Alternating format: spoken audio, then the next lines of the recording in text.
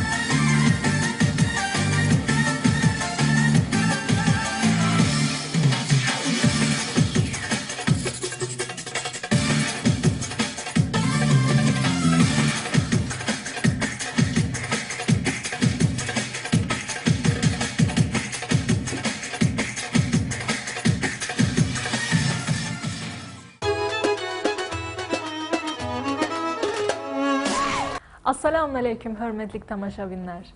Bugün sizlerge Orta Asya'nın merkezindeki Şarkı Türkistan'ı tanıtımız. Yanımızda Şarkı Türkistan Cemiyeti'nin başlık muavini Hürmetlik Eser Türkistanlı Saka Hanım'la sohbet edip barımız. Doğru telaffuz ettim değil mi Eser Hanım? Gayet güzeldi. Teşekkür ediyorum. Eser Hanım'la programımızdan evvel biraz sohbet ettik ama e, aslında Uygurca ile Türkçe arasında e, çok bir fark olmadığını öğrenmiş olsak da yine de ilk defa böyle bir şey telaffuz ettiğim için heyecanlıyım. Ama gayet güzeldi.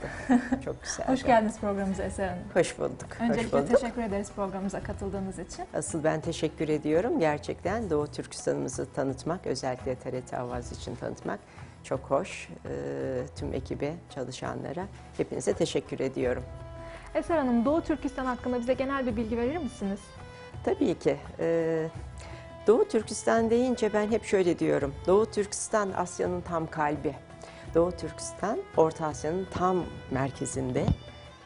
Biraz e, doğunun böyle gizemli bir bölgesi, biraz hüzünlü bir bölgesi.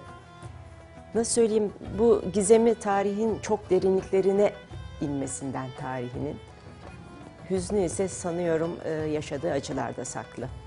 Coğrafik olarak adlandırmak gerekirse Doğu Türkistan'ımız Çin'in batısında. Şu an Sincan Uygur Özerk Bölge olarak adlandırılan bir yer. Uygur halkının çoğunlukla yaşadığı bir bölge.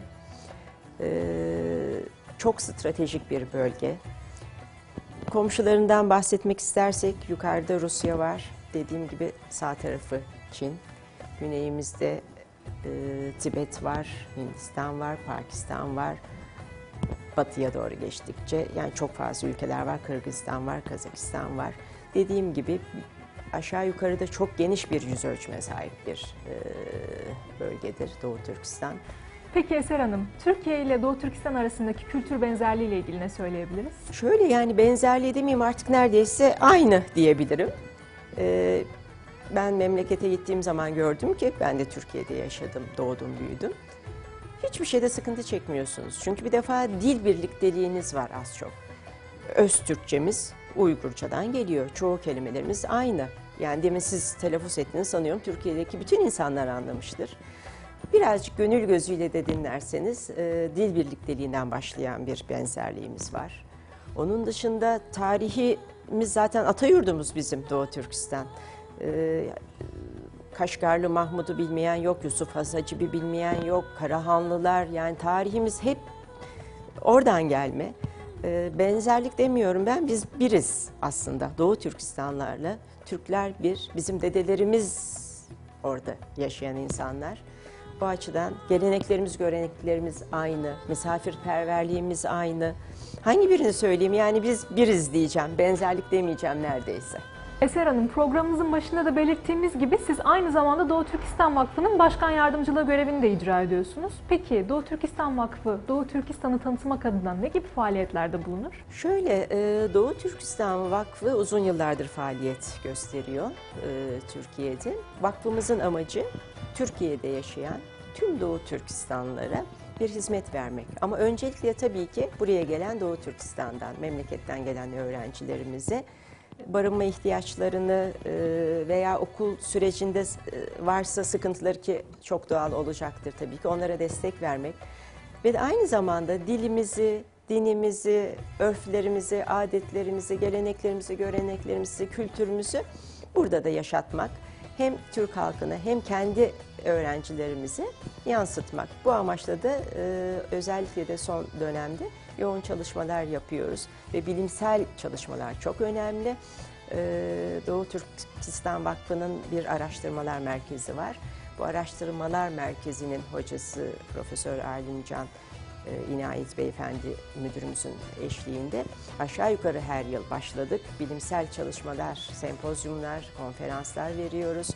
E, Doğu Türkistan'ın e, yetiştirdiği ünlü liderler, e, tarihteki e, kişilikler, işte demin bahsettiğim gibi yine Uygur halkının dili, işte önümüzde Mart ayı geliyor bir Nevruz kutlaması gibi çeşitli faaliyetler düzenliyoruz.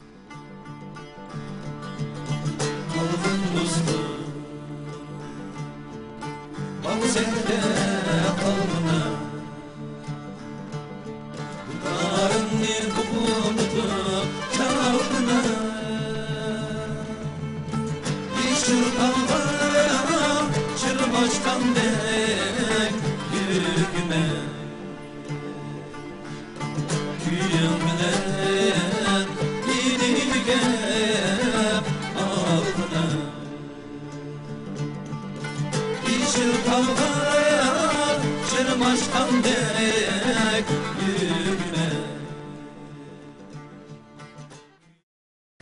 de yanımızda Doğu Türkistan Vakfı Yönetim Kurulu üyesi Abdülhamit Avşar Beyefendi var. Hoş geldiniz programımıza. Bizlere Doğu Türkistan'ın tarihi hakkında ne söylemek istersiniz? Şimdi isminden de anlaşılabileceği gibi Türkistan, Doğu Türkistan Türklerin e, ana yurdudur. Ve 17. asra kadar diyebiliriz ki genel Türk tarihiyle beraber bir e, tarihi dönem yaşamıştır. İşte Türkistan'da Orta Asya'da kurulan tüm imparatorluklara beşiklik etmiştir. E, onların önemli kültür merkezleri, siyaset merkezleri olmuştur. E, işte en son e, Timur İmparatorluğu'nun yıkılmasından sonra Doğu Türkistan'ın tarihinin diğer Türk dünyası tarihine ayrılmaya başladığını görüyoruz. Öncelikle orada e, bir hanlıklar dönemi var, bir 100 yıl, 150 yıl kadar devam eden. Ve 1754 yılında e, tarihin en önemli kırılma noktalarından birisi olarak ilk kez Çin işgaline uğruyor. Biz buna birinci Mançu Çin işgali diyoruz. Bu işgal e, bir 100 yıl kadar devam ediyor. E, daha sonra e, Kaşgarya Devlet diye bir bağımsız devlet kuruluyor. Yakup Han Bedevlet başkanlığında. Bu devletin özelliği şu, Osmanlı Devleti tarafından resmen tanınıyor. E, Rusya ve e, İngiltere ile birlikte. Ve bir süre sonra Osmanlı'ya tabi ilan ediyor kendisini. Padişahına hutbe okunuyor, padişahına para basılıyor. E, ve Osmanlı da buna bigane kalmıyor ve oraya önemli miktarda e, askeri e, yardımda bulunuyor, siyasi destek e, ilan ediyor. Maalesef bu da e, 1884 yılında yeni bir işgale uğruyor. Buna biz ikinci Mançu Çin işgali diyoruz. Bu işgal döneminde öncekinden farklı olarak Doğu Türkistan e, Çin'in toprağı ilan ediliyor. Daha önce müstemlekeyken bu sefer toprak ilan ediliyor. Ve ismi de e, Şincan, e, yeni kazanılmış toprak, yeni sınır anlamında Şincan diye değiştiriliyor. İşte bizim Doğu Türkistan'ın bugünkü e, makus tarihinin başlangıcının e, bu yıl olduğunu söyleyebiliriz. Peki Uygurların Türk kültürüne katkıları nelerdir? Şimdi öncelikle tabii bu çok önemli bir e, şey. Uygur adı biliyorsunuz uygarlıkla eş anlamlıdır. Hatta işte bu e, Atatürk döneminde dilde sadeleşme çalışmaları yapılmaya başlanırken medeniyet karşılığı bir kelime aranıyor. E, ve uygar, e, Uygurluk e, konuluyor ama işte Uygur Uygurluğu olmayacağı için bir U, A değişimiyle uygarlık sözü aslında Uygur sözünden gelir. E, Uygurlar e, Türk e, boyları içerisinde e, yerleşik hayatta ilk geçen Türklerdir. Bunu biliyorsunuz ve e, bugünkü yapılan araştırmalarda Uygurların tarihini, tabii bu genel Türk tarihidir, Türk tarihi demek aynı zamanda lazım bunun için. Milattan önceki dönemlerde başladığını şu anda somut, yazılı vesikalarla görüyoruz. Uygurlar ilk yazılı kaynakları e, vücuda getiren, ilk hukuk belgelerini e, e, tanzim eden e, Türklerdir. E, ve Uygurların bu e, kültürel e, şeyleri, geçmişlerin güçlükleri e, Türk dünyasında bugüne iz bırakan bir takım temel eserlerin de onlar tarafından yazılmasına yol açmıştır.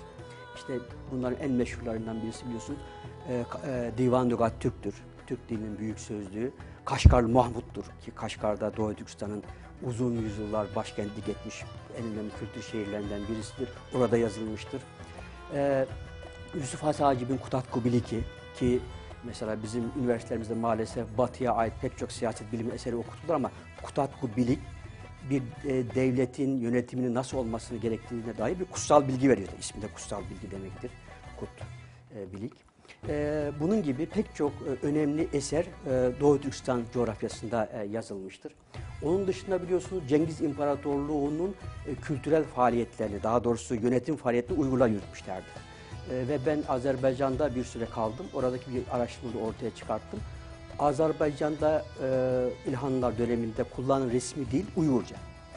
Hatta öyle bir şey yapılıyormuş ki diyelim ki Araplar, Farslar da var. Onlar bir e, kendi dillerinde devlete bir belge sunuyorlar. Onun arkasında görülmüştür mührünün Uygurca olarak yazılması gerekiyor. Böylesine etkin bir şey var. Ve o Türk ve Uygurların hem bir alfabe oluşturmuşlar biliyorsun. Uygur alfabesi olarak e, biliyoruz biz bunu. Onunla ilgili pek çok yazılı kaynak günümüze kadar gelmiştir ve Türk tarihini, Türk medeniyet tarihini, kültür tarihini Uygurları göz ardı ederek anlamamız mümkün değil. Programımıza katıldığınız ve verdiğiniz değerli bilgilerden ötürü çok teşekkür ediyoruz. Kültür Armanı başucu kitaplarıyla devam ediyor. Haftaki eserimiz Türk dili üzerinde yıllar yılı yapılan araştırmaların, duyulan heyecanların ve samimi bir Türkçe sevgisinin yazı haline getirilmesiyle oluşmuş bir eser. Türkçemizin bu topraklarda milli bir estetikle işlenmiş oluşunu en etkili biçimde ele alan eserlerden bir tanesi kuşkusuz Nihat Sami Banarlı'nın Türkçenin Sırları adlı kitabı. Nihat Sami Banarlı, Türk dilinin inceliklerini, ahengini ve asil bir milletin dili oluşundaki göğüs kapartıcı yücelikleri toplamaya çalışmış bu kitabın sayfalarında. Nihat Sami Banarlı'nın kaleminden çıkan Türkçenin Sırları Kubbe Altı yayınlarından. Fuzuli'nin daha imanlı ve daha heyecanlı bir Türkçeciliği, onun Kerbela şehitleri için yazdığı Hadikat-ı Süeda adlı eserinin ön sözündedir. Ey Arap, Acem ve Türk milletlerine feyiz veren Tanrım! Sen Arap kavmini dünyanın en fasih konuşan milleti yaptın. Acem fasihlerinin ise sözlerini İsa nefesi gibi cana can katan bir güzelliğe ulaştırdın. Ben Türk'üm ve Türkçe söylemek istiyorum. Tanrım benden iltifatını esirgeme. Sevgili seyirciler, geldik sohbetimizin en keyifli kısmına. Eser Hanım'la az evvel ara verdiğimiz sohbetimize, geçmiş zaman olur ki bölümümüzde Doğu Türkistan mutfağıyla devam ediyoruz. Buyurun Eser Hanım. Vallahi bence de en tatlı yere geldik. Oldukça da acıktık. Ee, Doğu Türkistan Uygur mutfağımız Türk dünyasının gerçekten en özel, en güzel mutfağıdır. Ee, ben Uygur ve Doğu Türkistanlı olduğum için söylemiyorum. Gördüğünüz gibi soframızda çok çeşitli yemekler var. Uygur mutfağı e, tabii ki coğrafyanın da etkisiyle daha çok e, ete, sebzeye, pirince dayalı bir mutfak. Özellikle ben şunu görüyorum Uygur mutfağında. Ee, muhakkak e, vücuda faydalı yiyecekler var. Yani e, çok fazla yağlı yiyecekler yoktur bizde aşırı derecede. Sotelenmiş sebzeler, su buharında pişmiş etler, mantılar. Mesela gördüğünüz bu pilavımız yine etli havuçlu bir pilavdır. Ama tabii bu sohbetimizi e, derinleştirmeden önce ben isterim ki herkes yavaş yavaş bu konuda e, konuşmalarını yapsın. Önce bir e, çorbamızla başlayalım sohbete istiyorum. Uygur mutfağının e, çöçüre dediğimiz. Buyurunuz lütfen hep beraber başkanım. Buyurun. Çöçüre dediğimiz e, sulu bir yemeğimiz bu. E, aslında Türkiye'de buna hemen bakanlar mantı çorbası diyor. Ama biz çöçüre diyoruz. E, özel bir katlanış şekli vardır. E, içinde yine et suyunda pişiriliyor. Bol içinde sebzeler var. E, çok besleyici bir çorbadır. Divan Lügat Türk'te özellikle et kültürüne atıflar var. Onu çok fazla rastlıyoruz. Ama bir yandan bu sofraya bakınca görüyorum ki sebzeyle hamur işi de çok fazla birlikte kullanılıyor. Gerçekten öyle. Ee, şöyle hamur işi, et ve sebze üçü değişmez Uygur mutfağında. Goşla e, e, etlidir. Yine şeysinden pizza. Pizzanın aslı yani. Çok güzel. Bu da e, yağ samsımız. E, Bizim memleketin özel Ramazanlarda bilhassa iftarda vereceği yemeklerden bir tanesi yağ samsımız var. E, Çeşit işte bu etli kavrulmalarımız. O da güzel bizim. Tadı çok farklı. Bir de bizde şey var. Bu sebzeni kavururken çok e, aşırı şey yapmazlar. Biraz daha hafif kavururlar yani. Vitamin vitamini e, öldürmesin diye. Farklı yerler var. Güzel gerçekten bizim e, yemeklerimizin lezzeti çok farklı yani. Ve de e, şunu ifade etmek istiyorum aslında çoğundan bahsettik ama Uygur yemeği deyince en başta gelen bir tanesi de lagmendir biliyorsunuz. Bu lagmen olmazsa olmazdır. Gerçekten e, Orta Asya'nın çoğu yöresinde belki bir pilavı görebilirsiniz. işte goşlanı, samsayı görebilirsiniz ama lagmen gerçekten Uygur mutfağının en eski, en tarihi yemeğidir. Hatta e, çoğumuz biliyoruz ama ben yine tekrarlamak istiyorum. E, İtalyan Marco Polo e, e, seyahatnamesi sonrasında duymuşsunuzdur. İşte o bölgede yaşayan insanlar, Orta Asya'da bizim Uygurların yerleşik bölgesinde yaşayan insanların bu uzun uzun böyle makarna yediklerini söyler. Gerçekten de daha sonra da İtalya'da bu makarna ortaya çıkıyor. Demek ki Çin'de de ondan sonra geliyor. Çünkü şu an hani Evet. Çin yemeği olarak sunulan şeyler arasında da var aynı zamanda. Evet ama dediğim gibi e, bu yemeğimiz lagmen özellikle e, Uygurların öz yemeğidir. Onda da kızlarımız söylesin gene sebzeler soteleniyor. Üzerine dökülüyor lütfen. E, biraz bilgi verin yemeklerimiz hakkında. Ramen'e gelince tamamen el işi o. Yani hamur yoğrulacak. Ondan sonra iyice şekil şekil verecek. Uzun uzun. Ondan sonra e, su- haşladıktan sonra, kaynadıktan sonra o bayağı uzatıyoruz. Atıyoruz, pişecek. Tabii ki aynı sır, e, aynı zamanda sosunu hazırlayacağız. Ondan sonra hadi sofraya lezzetli bol Ama o, yeriz. o, o sostan da bahsedelim. Çok önemli sosumuz. Şimdi e, tabii şey sos derken e, Türkiye'de Mikrofonu türlü diyorlar. Yani türlü e, lagmanla yani hamurla birleşik bir yemek oluyor. Türkiye'de onun iki ayrı şey makarna ve türlü olarak sunuluyor. E, lagmanın bir özelliği daha var onu bahsetmediniz. Eser Hanım, lagman bilmeyen kızlarımız gelin etmeyiz biz. Uygun olmanın temel baraj yemeklerinden birisi. Bence de ama e, şöyle e, yeni nesil bakıyorum yavaş yavaş hazır makarnaları e, gidiyor ama biz onu kabul etmiyoruz. kabul etmiyoruz. İlle lagman Evlenmek zor o zaman. Çok zahmetli iş zaten. İşte bir Uygur gene- genetik olarak daha doğrusu bunu öğrenir. Çünkü onunla büyür, doğar, ana evinde onu görür. Muhakkak o hamuru açacak, o ince ince o hamuru bu makarna haline getirmeyi bilecek. Tabii onun yanında şeyler de var. Bakın o da enteresandır. Laza değil, değil mi? Evet lazamız var. O lagmanla beraber e, o şey yapar, mantının yanında koyarız. Sirkeyle beraber. Şimdi bizim Uygur kültüründe, Türkistan e, yemek kültüründe hamur ve et e, yoğun olmasına rağmen e, bu soslarla onu dengeliyoruz. Dolayısıyla yani takım şimdi ortaya çıkan e, modern hastalıklar Uygurlarda çok gözüküyor. İşte laza, bu lazada kırmızı biber, kızgın yağda e, sarımsakla beraber değil mi? Kızdırılıyor. E, yani bir şekilde çoklanıyor. Sonra sirke ilave ediliyor e, yemeğe. Beraber yediğiniz zaman onun hamur etkisini belki ortadan kaldırıyor. Evet, kolay hazmediyoruz. Kolay, kolay Kolay hazmediliyor. hazmediyoruz. Böyle şeyler de var. ince nüanslar da var e, sofranın. Şimdi baktığım zaman zaten hemen hepsi baharatlarla harmanlanmış görünüyor. Ve gerçekten de bize çok da uzak değil. Ve yani keşke ekran başındaki seyircilerimiz de yani şu an bu yemeklerin kokusunu da alabilseler. Çok iyi olurdu. Daha iyi olurdu herhalde. Bu baharatların tabii e, şöyle demek istiyorum. Bir özelliği de tarihi İpek yolunun geçtiği yer. Doğu Türkistan. Yani orada baharat olmayacak nerede olacak? Onun için de bütün yemeklerimizde çok özel baharatlarımız var. Akmuç, karamuç, kavançin. Aklıma gelenler hemen onları söylüyorum. Başkaları varsa. Evet, evet çok kullanılıyor, çok kullanılıyor baharatlar çok kullanılıyor. Bir de bu mantımız demin söylediğimiz gibi biz e, memlekette başkanım Kaşgar'da biz cümbül deriz. Siz de mi cümbül dersiniz? Ama kaskan diyenler de var. Bu delikli e, su baharında süzgeç gibi düşünün. Kat kat olur. Onda su baharında tencerede Tamamen buharda pişiyor. Var, çok. Onun hiçbir yan etkisi yok. Tam insana faydalı. Evet çok faydalı. yani görünürde insan sanki 2-3 tane yerim gibi geliyor ama vallahi bir oturuşta e, bayağı gidiyor gidiyor bence de yeniliyor.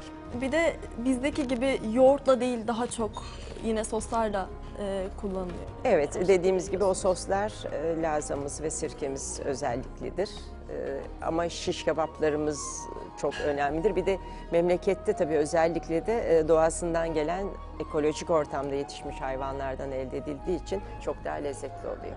Sevgili seyirciler sizler için yemeklerimizi tanıttık. Şimdi artık bizim için yemek vakti.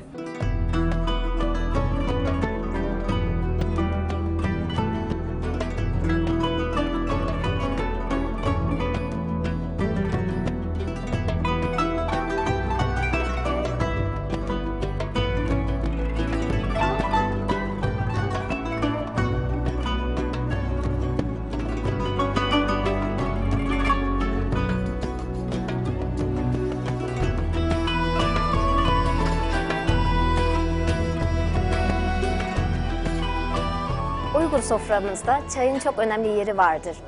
Genelde biz çayı hep sıcak ikram ederiz. Misafirler geldiğinde hemen sıcak bir çay ikram ederiz. Yemeğimizde, yemek soframızda sıcak sıcak çay yemekle beraber ikram edilir. Genelde çayımızın birkaç tür e, çeşidi vardır. Kara çay, doğru çay, pemil çay, etken çay gibi birçok çeşidi vardır. Genelde biz e, günlük hayatımızda kara çay kullanırız. Çay ikram ettiğimizde, ikramda, hareketlerimizde filan e, misafirleri olduğumuz saygılarımız gösterilir. Genelde çay ikram ettiğimizde şu şekilde çayı doldurup ve misafirlerimize iki elimizle ikram ederiz. Misafirler de iki eliyle çayı alırlar. Çayı e, az önce bahsettiğimiz gibi genelde yemekte beraber kullanıyoruz. Çünkü sıcak çay yemeğin hazmetmesine yardımcı olur. E, bu çok önemlidir. Bahsettiğimiz gibi çayımız sıcak ikram edilir. Çayımız hazır. Buyurun size de çay ikram edelim.